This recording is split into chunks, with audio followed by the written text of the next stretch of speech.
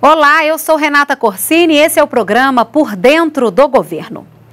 O Ministério da Integração Nacional viabiliza recursos por meio dos fundos constitucionais de financiamento e de desenvolvimento regional. É o que mostra para a gente o ministro da pasta, Helder Barbalho. Nós desejamos colaborar com os fundos constitucionais e os fundos de desenvolvimento para garantir o acesso a recursos que possam representar novos empreendimentos, a ampliação de empreendimentos já existentes e, com isso, gerando emprego, gerando renda, gerando movimentação econômica nas regiões do Brasil.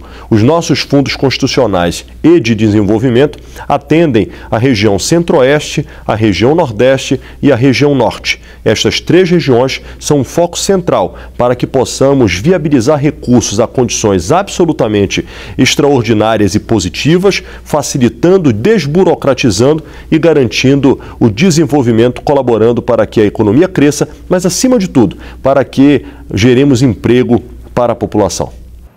Se você tem dúvidas sobre algum projeto ou ação do governo, de qualquer ministério, escreva para por dentro do governo.